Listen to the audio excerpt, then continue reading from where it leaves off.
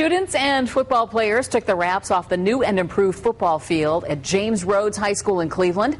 The school was awarded a $100,000 grant by the Cleveland Browns through the NFL's Grassroots program.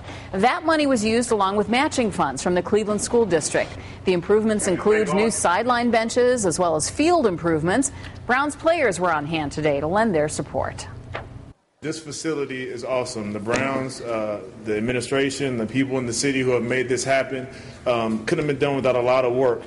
But this is football. You know, the most important thing for you guys, for you, for you guys playing the drones, for you girls cheering, is what goes on in this classroom.